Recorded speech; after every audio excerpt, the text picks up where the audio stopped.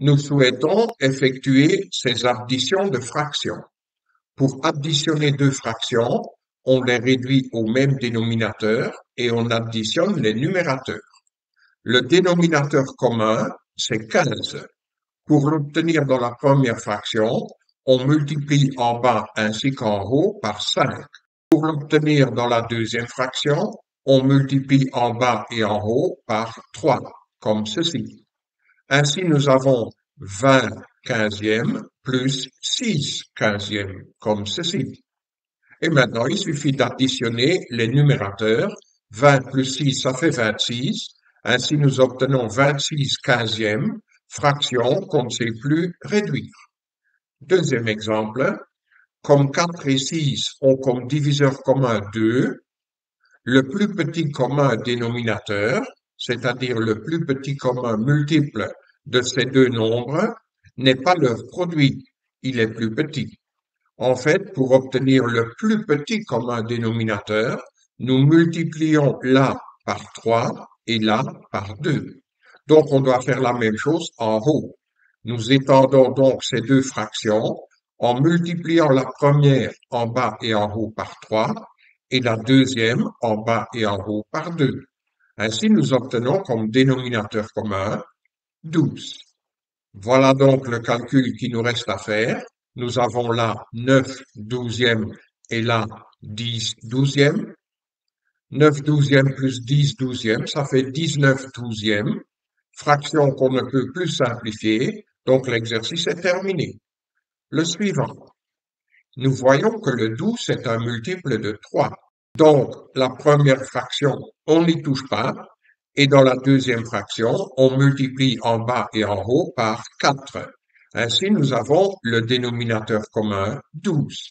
Le calcul qui reste à faire, c'est donc 11 douzièmes plus 16 douzièmes, et ça, ça fait 27 douzièmes. Fraction qu'on peut encore simplifier par 3. Ainsi, nous obtenons 9 quarts. Exercice suivant. Regardons bien les fractions. Cette fraction-là, on ne peut pas la simplifier, mais celle-là bien. Celui qui voit que 39, c'est 3 fois 13, et 156, c'est 12 fois 13, il voit qu'on peut simplifier par 13, et il reste 3 douzièmes, c'est-à-dire un quart. Celui qui voit de suite que 156, c'est le quadruple de 39, il peut tout de suite simplifier cette fraction-là en un quart. Maintenant, pour additionner ces deux fractions, nous allons multiplier le dénominateur ainsi que le numérateur de la deuxième par 2. Ainsi, nous obtenons 52. Et ici, nous allons multiplier en bas et en haut par 13. Comme ça, on obtient aussi comme dénominateur 52. Le calcul qui reste alors à faire, c'est 13 plus 34 sur 52. Donc, comme ceci. Et 13 plus 34, ça fait 47. On ne peut plus simplifier cette fraction-là, donc l'exercice est terminé. Regardons le suivant. Cette fraction n'est pas réductible, celle-là non plus. Alors nous cherchons un dénominateur commun. Le plus petit, c'est 450. En multipliant là en bas et en haut par 2, et ici en bas et en haut par 5, nous obtenons justement ce dénominateur commun, 450.